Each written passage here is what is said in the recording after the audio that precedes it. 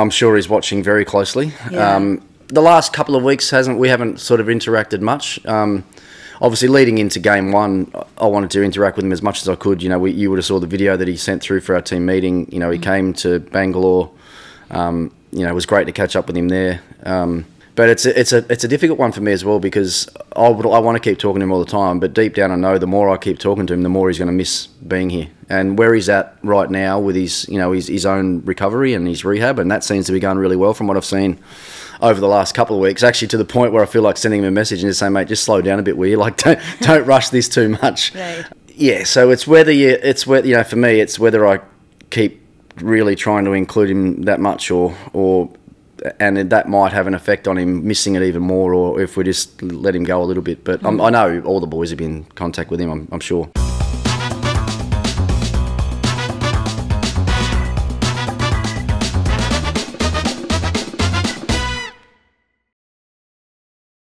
Hello and welcome to yet another episode of the Delhi Capitals podcast. It is season three of our podcast. We hope you've enjoyed our episode so far.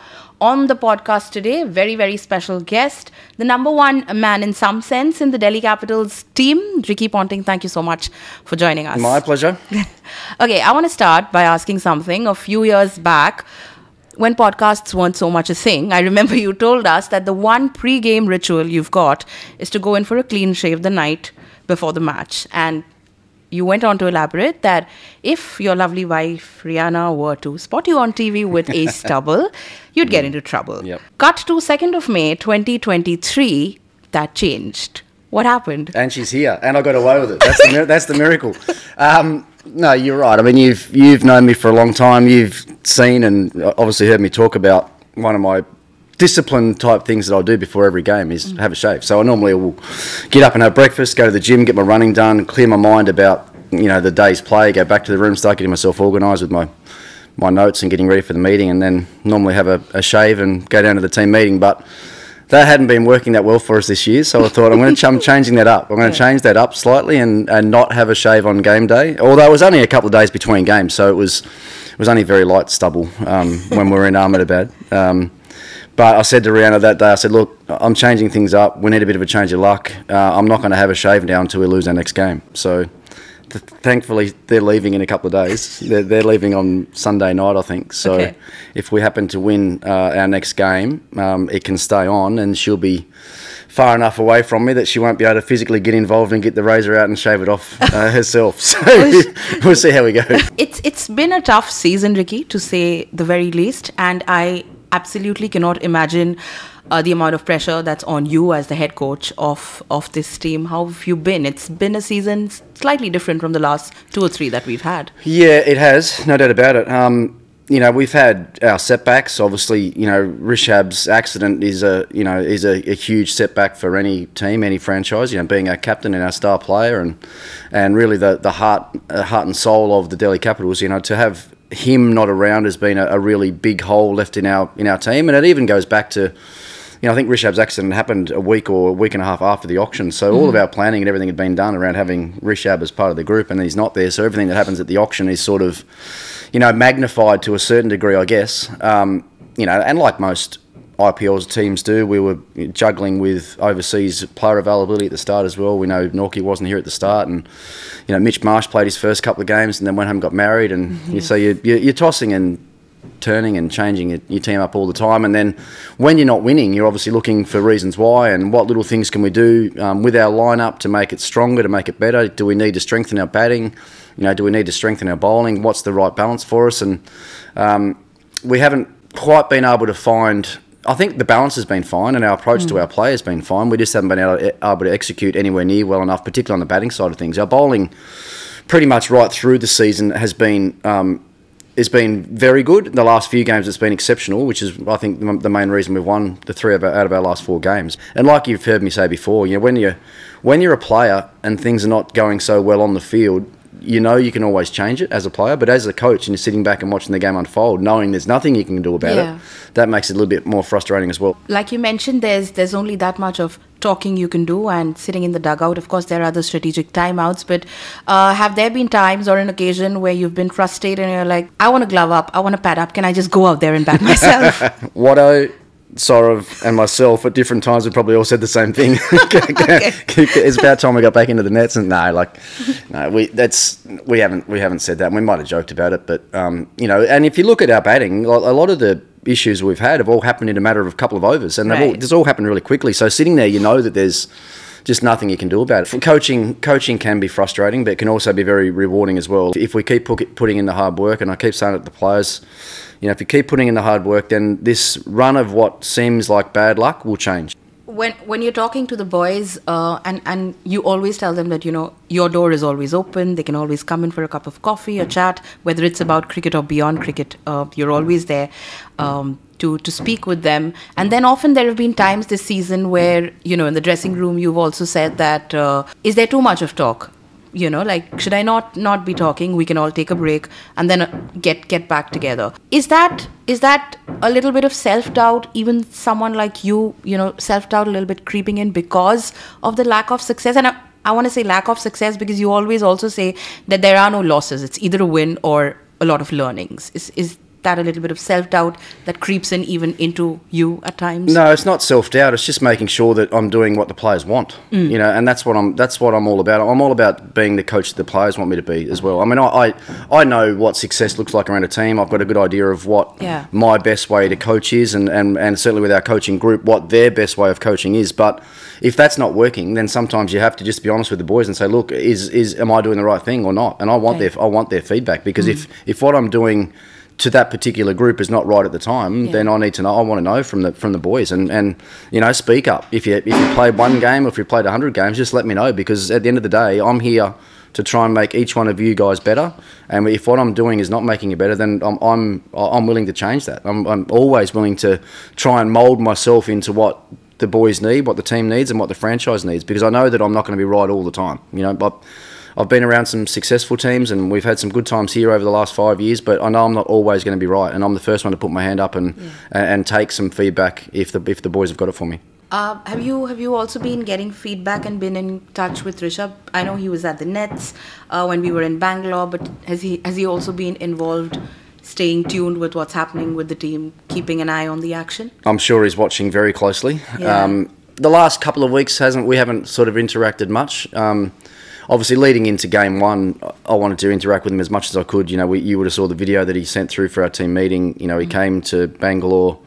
Um, you know, it was great to catch up with him there. Um, but it's a, it's a it's a difficult one for me as well because I would, I want to keep talking to him all the time. But deep down, I know the more I keep talking to him, the more he's going to miss being here. And where he's at right now with his you know his, his own recovery and his rehab, and that seems to be going really well from what I've seen over the last couple of weeks, actually to the point where I feel like sending him a message and just saying, mate, just slow down a bit, will you? Like, don't, don't rush this too much. Right. Yeah, so it's whether you, it's whether, you know, for me, it's whether I keep really trying to include him that much or, or, and that might have an effect on him missing it even more, or if we just let him go a little bit. But mm. I know all the boys have been in contact with him. I'm, I'm sure. Um, yeah yeah, so that you know, it's been a difficult time for him. You know, I, I know on the on the physical side of things with his recovery, but you know, just the mental side of it as well of of getting over such a you know horrific accident and injury, and then probably for him looking ahead of where his career might be going, might might be heading. So it's been it's been a difficult one for all of us to deal with. I think. Uh, you mentioned how the bowling has been outstanding for for the group so far in the tournament. I want to pick your brains a little bit on this one guy who just made himself available even when he wasn't feeling physically all right 100% in the back of the back end of the tournament and just pulls the way he does in last overs of the games. Ishant Sharma and the art of never saying no. Talk us a little bit of how impressive he's been and how there's cricket very much left in him yeah, I mean, Ishant and James, I mean, Hopesy's done a really good job with Ishant on the physical side of things, but also mm. on the, the, the, technical and tactical side of his bowling. You know, he was, what's he been with us for the last six years, I think, or five, five of the last seven years, maybe something like that. Yeah, um, just one year not. one year not, was it? Yeah. Um, and you know when his name came up in the auction and we and he ended up back at DC, you know I must admit I, I knew he hadn't played a lot of cricket, but uh, so physically he might have been a little bit behind where we needed him to be, but also knew once we got him back here and got him working and got him back into our environment that he'd be he'd be up for it and he'd be one of the leaders of our attack, which is what he's been over the last, you know, the games that he's played. Um, first game he played was the first game he played, or no, second game he played. He wasn't physically right. He sort of battled his way through. I think he'd been on a drip the morning before that game, um, and you could see as his overs were going on that he was starting to feel the pinch a little bit, but he never whinged or never complained. He just got on with it and and did a great job in those games. And then obviously the other night, you know, it wasn't even just his last over in the the Gujarat game. It was you know he came on for his third over and picked up a wicket in his third over as well, Yeah. and then you know was left. Which you know for him he's he's probably been branded as more as a new ball bowler the last few seasons. You know, bowl two maybe three overs in the power play and then one over through the middle sometimes, and not, and not much at the death, but you know, bowled two in the power play the other day, got a wicket in his third over, which broke that partnership, and then was left with 12 runs to defend in the last over and, and did it beautifully. So, um, you know, that's skill, uh, it's, it's, it's, experience, but it's also that want to be in that contest. You know, the, the person that wants to put their hand up and say, no, give me the ball, I want to bowl this last over. And you know that Ishant's never going to shy away from anything like that. So, um, no, look, we're, we're all really proud of what he's been able to do almost um, when it looked like his IPL career might have been over you know, to get another opportunity and then to bowl the way that he has has been very, very pleasing. And it's all and it's and it's something that a lot of the young younger guys can look at Yeah, and, exactly. and, and learn from. Which which you know, having those older, more experienced guys around that have got the work ethic like he's got can only you know um, be really infectious for a lot of the younger guys. And uh, Ishant's good friend, uh, our vice captain for this season, Akshar Patel. How good has his batting been? It's it's again been one of the highlights. Uh, for Yep, us. it has. Um, you know, to the point where probably every most Indians out there on social media will be sending me messages saying you've got to bat him higher up the order and you've got to use him higher up. I've been I've been noticing a lot of those How much messages. social media are you I, checking, Ricky? I actually don't. Well, you know what I'm like. I, I don't very much. If you look at my own page, I'm not, I don't post very often, but it's Yeah. hard to stay. It's I mean, during an IPL, it's hard to stay away from. If you open it up at all, then there's so many different things that you can see um, and that you're made aware of. But yeah, look, his batting. There's no doubt his batting's improved out of sight in the last couple of years. Um, you know, even not just in IPL, but you've, you've seen what he's done in international cricket as well, and he's you know he's become and he'll keep becoming a very good Test match batsman as well, which which is exciting for him and it's exci- exciting for India because they've now got another all rounder that they can pick. You know, in that you know, and if Hardik ever decides to play Test match cricket again, then they've got you know Jadeja, Akshar, um, Hardik, and even someone like Ashwin that can that can hold the bat pretty well as far as their all rounders are concerned. So um, no, look, he's he's been great, and he's he's bowling again's been. You know, he's, he, I think his bowling's probably always a little bit underrated because he's there's not much flash about what he does. But you look at the end of every game, and you know, there's two for 25, there's two for 30, there's one for one for 28, and as you know, it seems like forever I'm handing him out a Always. change rooms man of the match to the I- point where the boys are just joking about it now because they just think I've got one in my pocket for him every Just game. for him, yeah. every game. So, Yeah. no, look, he, he has an impact, and that was why I was so keen to keep him as one of our retained players because. Eh, look, one, he's a terrific person to have around the team. As you could see with the function last night, give him he doesn't say boo ever normally. And give him Correct. a microphone and he's he's the life of the party. But no, he's, he's all round talents. Obviously, vice captain. He's growing in stature as well. His batting's getting better. So you know, hopefully, he's a Delhi player forever. Yeah, fingers crossed. Uh, you you brought up social media, so I'd like to touch upon that a little bit. Uh, in in high pressure tournaments like the IPL, and and social media has become so crucial. What you're putting out, what you're not putting out, because everyone uh, sitting behind a mobile phone or you know a laptop has an opinion, and they're just gonna type it out. But a lot of it, in some sense, is outside noise, which can also affect a player or a coach, anyone, in the wrong way. There's there's a lot of the praises, but when it's not going too well, it can just be horrible and affect someone's mindset so badly. Uh, uh, is there a way then of keeping this outside noise out perhaps you know even for the players do you have a chat with them to keep it out or is it really tough in this day and age Well, it depends who they want to listen to. If they want to listen to what I've got to say, then you know I'm always be pretty clear and straightforward with the boys there's a about. curfew Well, I haven't been the one that said that, but maybe I should have earlier in the tournament. um, no, look, if they want, if they choose to believe and listen Mm. to social media, then you know it's it's a big, dark, deep hole that they can find themselves in. But if they want to talk to me about cricket and where they're at and how the team's going, then I think I can be a, a lot more positive with my words than what they'll find in social media. But it's just, you know, I, I can see for the younger guys how addictive it is. Um, you know, I've only been on social media for a couple of years, and you know, I, I, I'm- I'll admit I'll scroll through all the IPL stuff and the Delhi stuff, but I don't ever look at comments. I'm just looking at what what's happening there. Yeah. I'm sure the other guys they were diving into comments to see what someone out there thought of their game, and that's not going to do anyone any good.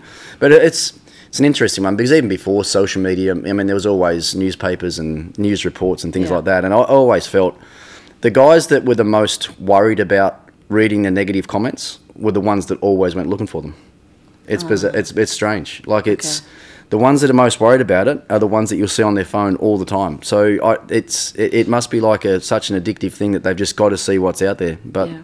yeah, so it, I, I'm not going to guide them on what they should or shouldn't do. I mean, you could you could easily try and put a ban on guys looking at social media when things aren't going well, but I don't, I don't think that's going to work Yeah, for anyone. yeah. But as I said, if they if they're worried about where they're at and, and they want to hear the, the real truth, then talk to the coaches and your teammates. Don't worry about what anyone else out there's saying. And they do talk to the coach, and the coach always speaks with them after a match. I'm referring to your dressing room speeches, which are so amazing always and so motivational. I want to ask though, when the when the going is tough, and it, it's it's equally tough and heartbreaking for you um, as the coach of this team because you're seeing all the hard work that's going around. You need a pep talk. You need a motivational speech. Who gives that to Ricky Ponting? Oh, the other coaches, like I, I, we, we talk a lot. I mean, before, and I don't. The thing with those speeches as well, it, I don't necessarily mean them to be motivational. A lot of the time, they're what I've seen in the game and, and how we can learn from the game. Even if we've won, what I say, hopefully, there's still something there that they can learn from to get better for the next game. You know, and if we lose, then I'll point out the areas that we need to improve on and work Correct. on and get better at. Uh, look, do I need? Yeah, I guess at some at some stage, you, when things aren't going well, you do need to have someone that you can talk to and, and sometimes vent your frustrations, or even ask to, to try and learn from them as well. And that's why we've got the people that we've got around us. I mean, I've worked with Hopesy now for what's that? It's coming to our sixth year, I think. Here, Yeah, yeah. I played with him a lot. Yeah. You know, obviously with Shane as well. I played with Shane a lot. We're great mates. I know um, Shane really well. Even Ajit and Saurav. You know, I played a lot against them and have known them for a long time. Actually played with Ajit at, at KKR back in the first IPL. So Correct. we've got some, yeah, got some great people around. If I want to bounce things off them, um, but I'm a bit, you know, I'm, I'm. I'll only really open up to a lot of that stuff if things are really bad. Like, I- and it's just the way that I was brought up. You know, even as a, the Australian captain, um, and when you're in these leadership roles, it sometimes can be a, a lonely place as well because a lot of people won't want it. If things aren't going well, they won't want to talk to you and won't want to try and influence the way that you're thinking. So, if you're not that way inclined to go and ask questions of people and find out what they think about things, which is why I like to talk to the players and open it up to them to, to because I know that more often than not they won't come and talk to me. But if you if you want to open up and share, then you know I'll do it. But I'm, I've I've always been one of those guys that if things are not going well, just give me a little bit of time to think about it, and I'll come up with what I think's the right way to fix it and change it, and then I'll go away and try and implement that. Is that what it was like when you were uh, when when you you were playing as well? Uh, you know, just who would you go to if, if you'd had let's say a lean patch or a really bad game and you're like you know i know i'm going to be okay but i just need the day off or i just need to switch off completely um, and something or someone can fix this for me Yeah, one or two people. I was never. I, I didn't want to have too much advice or too too much information. For me, it was about having a couple of people really close to me that I trusted and and just would go to them because I think, and that's what I say to the players all the time as well. We, even look, we've got a great coaching group here, Yeah. but we've got a lot. Yeah. And if you're a player and you want to go and ask every one of those guys for their feedback, before you know it, you might have five or six different um, ideas and thoughts about where you're at and what you need to fix and what you need to change. And if you've got that much information, especially as a young player, it's pretty hard to deal with that. So I, I would much, I always say to the boys, look, come and talk to me first. Uh, Like, ask me, talk to me. If you don't think you're getting the right answer from me, then go somewhere else. But it's no good going around everywhere and then coming to me as the last resort. Um, and that, you know, that was when I was a player. If things weren't going well, I had the guy that I think had was the best batting coach that I ever had, a guy called Greg Shipperd, who was my first state coach and is now having great success in the in the BBL as coach of the Sydney Sixers. Um, he was the one that I that I went to if uh, because I knew he was watching every game. He knew my batting technique inside out. He knew me really well. He knew how to communicate with me. And basically, as a coach, that's all I wanted. I wanted someone that I could trust, Yeah. someone that knew me, and someone that knew my, my technique well. And I didn't need anybody else. That, that that one person was enough. was um, was the black diary a thing back then as well making your extensive notes when you were playing It as was well? actually, yeah. Um, I'm not sure if you've read my book or any, anything in my book, but I and it, I had a diary that I used every every night before I batted into in an international game. So I was in the middle of a test match and a team was seven down um, that night, and I knew I was going to bat the next day. Then I would lay back in bed that night when and actually write down the things I had a checklist of things that I, I knew that if I did well, then it was giving myself the best chance of having success the next day. Right.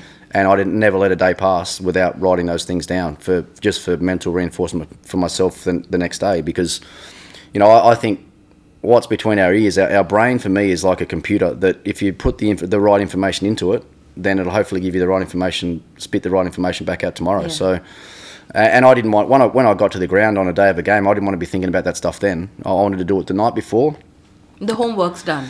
It's done. It's in yeah. the it's in the memory bank. It's locked away, and then when I get to the ground, I can just go out and not worry about any of it because I know it's all done. I can just go out and play. Yeah. So, you know, I, it was very simple stuff that I had. It was just a checklist of of little things that I would I would write down. I'd make a dot point, write the words down, finish the 10, 10, or 12, whatever it was, I'd then go back individually and, and visualize what each one of those words or sentences meant, and then I'd underline it. Once I'd underlined it, meant that that part of it was finished. Yeah. I'd move the way through those. I'd then get to the opposition. I'd write the opposition bowlers down and how I thought they would try and get me out, and then how they would try and stop me scoring. Mm. So once I had a clear, like it was James Anderson, I knew he was going to try and bowl an in and try and get me LBW, and so I knew how I could set up a plan for that, and then once I knew he was going to get me out, um, then I could work a game plan around that. So I'll do that with all their bowlers, and then I just literally would underline that as well, close my diary up, put it next to my bed, and lay back and go to sleep, and that was done. It's it's there in your book, uh, like you mentioned, but are the diaries stacked anywhere, or you know you what? Just did away with no, them? No, I should show you my suit. I've got them all here. Really? I've got every year of my coaching time at DC in with me. That's a fat stack of diaries. It's a fat stack of diaries. So you know the the inside top of your suitcases, they're all in there. So I would, there'd be oh, maybe a dozen of them. Oh, that's that's a collection. So we can go back to 2018 and see what I was thinking then, see, if you yeah, like, yeah, see, yeah. see, if anything's changed. Yeah. yeah. Uh, you know the way you played your cricket, Ricky. You uh, captain teams, uh, and now now you go about your coaching. Very intense, competitive, attacking. That's how you played your cricket as well. What is Ricky Ponting beyond that tough exterior that we've always seen? You can answer that for me. You, you, you, you tell me. Um, no, what? What? Doting dad, for sure. Yeah. Um, you know, I think there's been a real change in me as a person since I retired from playing. Mm. Um, and even I think probably the last few years that I played, when my family came along, it probably softens you down a little bit as a person as well. You, you, you realise that there's a bigger world out there than just you and cricket and yeah. uh, and the daily grind of cricket. So I think that started cha- to change me a little bit when Emmy and Matisse were, were born. Obviously Fletcher wasn't born when I was when I was playing, but um, I talk about it now as when I was when I was playing, I it was almost it was like I had my helmet on all the time.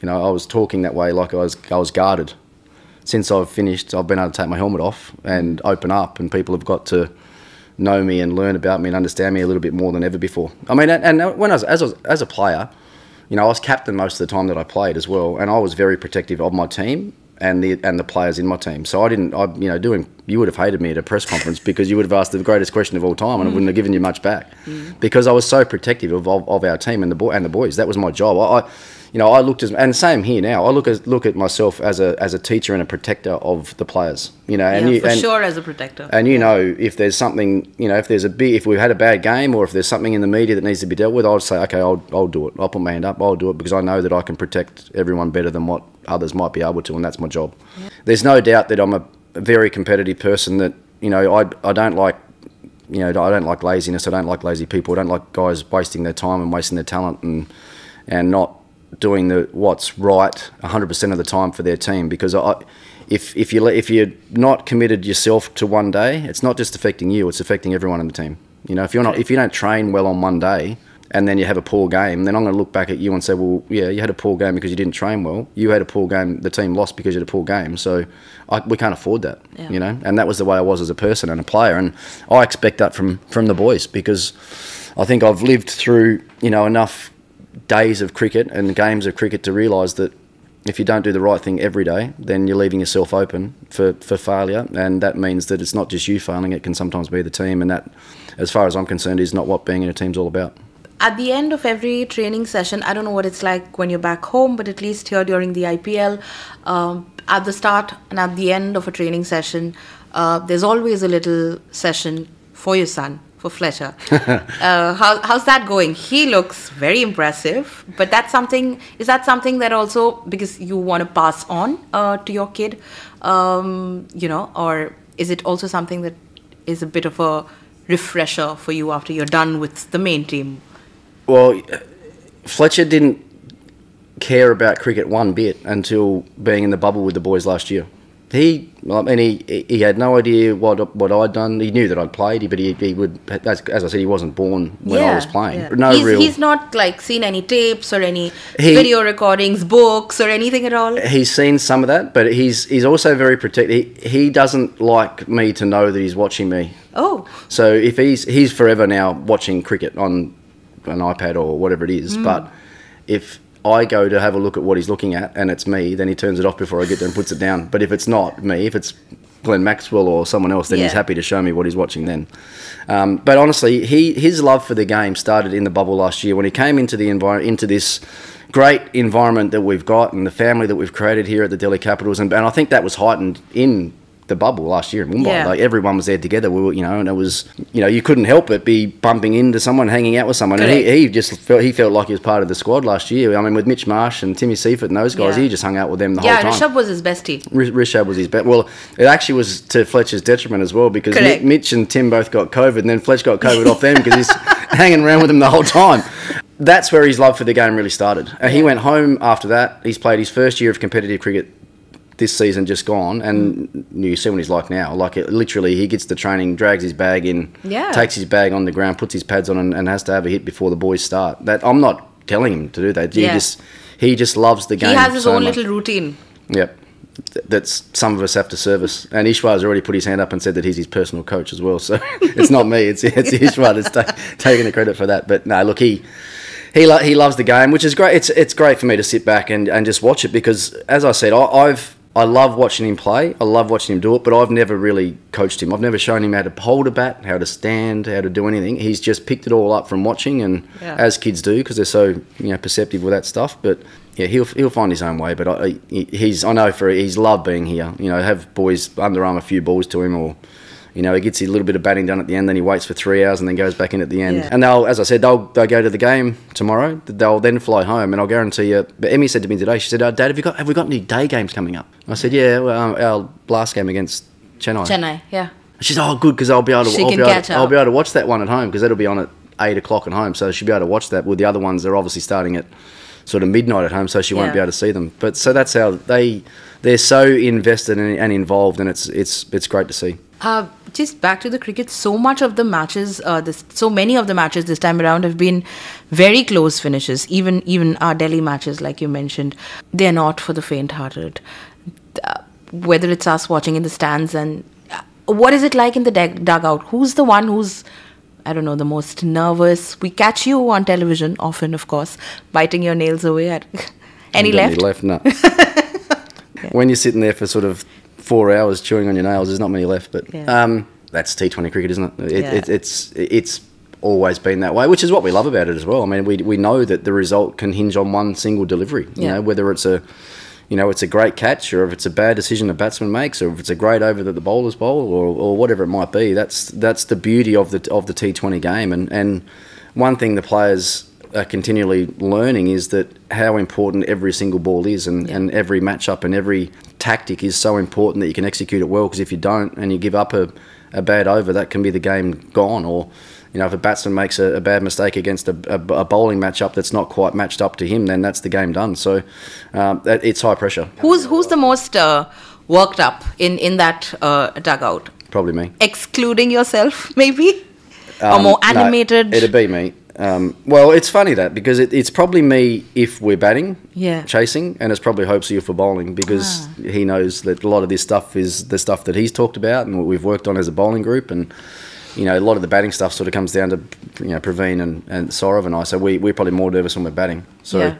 If you look at our season so far, it's probably fair to say that I've been more no- nervous than Hopes he has most of the time. But um, Saurav's the other interesting one that I know he has a few different superstitions and things that he does, but if things are not going well, if we start the game well, he'll start in one seat, and then before you know it, he's moved over another seat there. He'll go and stand around behind the analyst and stand there for a while if things aren't going well, and then things start to turn. Then he comes back and sits next to me again, and he'll go and get a coffee and come back. But Yeah. um, I think he- he's he probably doesn't show it as much um, externally as what I do, but I, I think he's um, he's just as nervous as most of us. I think. Has it been good working with him? Everyone talks about the Ponting Ganguly rivalry, but beyond all of that, I mean, what I see is a lot of respect that the two of you have for each other. What's it? Abs- absolutely. As I said, we were we were. I mean, when you talk about the rivalry, he was probably a bigger rival when Steve Waugh was captain. Steve Waugh and him had a bit Correct. more of a, you know, a bit more of, a, of edge to them what than what Saurav and I probably did. Um, but we played a lot against each other. You know, well, uh, captain that World Cup final against each other in 03. Um, you know, things things like that. Um, but he was involved with us back here in, in 19 when things really started to, to change and when things started to turn and obviously went into a, a bigger seat for the last couple of years um, and now he's back with us again now so look we, we get on really well and the, and the reason why we do is be, because we, we, we can see the bigger picture for this franchise and what what we have to do together to try and guarantee success for the franchise That- and that's what it's all about regardless of if we if we're not good mates. You know, when you're working in a team, you've got to come together and Yeah. be heading in the one direction. You know, leave the past behind. That whatever's happens, happen. You know. Yeah. I guess the best example of that was when I went to Mumbai and coached there, and I, I'd, I'd had a, the biggest probably on on field rivalry I'd had was Harbhajan. Next minute, I'm walking in the Mumbai Indians. I'm captain of of Harbhajan Singh It's all good. and it's all good. I'm taking catches off him, and he's hugging me and all that. And then the next year, I come back as coach, and I coach him. So that's I think that's a really good thing about the IPL. You know, the the international rivalries individually or team wise that you you had are probably not anywhere near as strong now because you're, you're playing and working with a lot of the guys that Yeah. that um yeah in the same team that you might be playing against next week. Yeah. Uh, and speaking of the IPL and franchise cricket, because there's so much of it now in the cricketing calendar, how, how do you see it changing the landscape of cricket, you know, more than it already has? Um, threatening international cricket, perhaps? There's been more. There's been a lot of talk of that lately, hasn't there? Where, Yeah. uh, especially with it sounds like some of the bigger powerhouse IPL franchises potentially making offers to international players to be aligned with them for 12 months, but rather than being aligned with their with their countries. Uh, that's that's started to a certain degree. Like someone like Trent Boult has not accepted a New Zealand contract the last couple of years, so he's free to play more um, domestic T20 comps around the world. And I can understand it for for guys that are coming towards the end of their international career, where and they might not have. I'm not saying it's cash in, but might, haven't been able to maybe exploit the bigger amounts of money that these domestic comps have been providing around the world because they've been so focused on playing international cricket. So I can see that it'll happen. Um, Yeah. Hopefully not at a real detriment to Test cricket because I think Test cricket's got its own issues and problems that that that's facing right now. You know, the the top three or four teams are fine, but I'm worried about a lot of the teams that are outside of that. So it's going to be yeah, the next couple of years. I, I think it's inevitable. that It's going to probably get more to to a club based cricket. will Become more of a club based game. I think that. The guys will then go and play international cricket rather than being what it is now, where they're playing more international cricket and then go and play a little bit of club stuff. I think it's inevitable that that will happen. Yeah. Um, it is a it is a World Cup year. Um, uh, being played in India, 50 over. How do you see the 50 over format? Is that the one that you know feels like in trouble? Yeah, I've, I've felt that for the last, oh, maybe 10 years, to be honest. It's been a long time that T20, uh, that the more popular T20 cricket's become, the bigger the IPL's become. The fact that every other country's now got their own big T20 competition on, on something has to give somewhere. And I've always felt that the 50 over game was the one that was going to um, suffer the most. But it's interesting as well because the, I think while there's still a World Cup, you know, it, it I think 50 over cricket probably goes quiet for a couple of years after a World Cup, but then it starts building up again Building up, yeah. towards a World Cup. Uh, and I certainly know that that's how certain teams will structure the way that they play. Even you know, Cricket Australia, I think, are, are probably playing nowhere near as many T20 internationals this year because they'll play want to play more 50 over games to get them right, get the team right for the 50 over World Cup. Oh, okay. So. Um, that's the way that, that countries will try and plan it. Um, and then once the 50 over World Cup is done, then they'll have more emphasis back on T20 cricket leading up to the T20 World Cup. There's there's no doubt in my mind there's room for all three of these games to survive and prosper, but let's not play them off against one another. It, it you know it's, it doesn't make any sense to have a, a T20. Actually, the last Australian summer was a great example. T20 World Cup in Australia. Yeah. Immediately after that, Australia play England in three one-day international. Immediately after the World Cup, and no one went. Yeah. Australia, England, one Exactly. day internationals, no one went Yeah. because they just they just seen the one of the great spectacles ever of T20 cricket, and then you're putting 50 over cricket up against it. No, Empty if those stands. T20, if the T20 World Cup wasn't there, and those three one days against England were there by themselves uh, around Test cricket, every one of those games would have been sold out. Yeah. So it, trying to when they're competing against each other in such a tight, close knit environment, I think that's when it's that's when it spells trouble. Any early calls though for the World Cup? It's in India. Oh, Last four. last four what? Last, who's going to make the last four? Yeah. Oh, well, they'll probably end up saying the same teams all the time, and so there's always one in there that, that trumps me a little bit.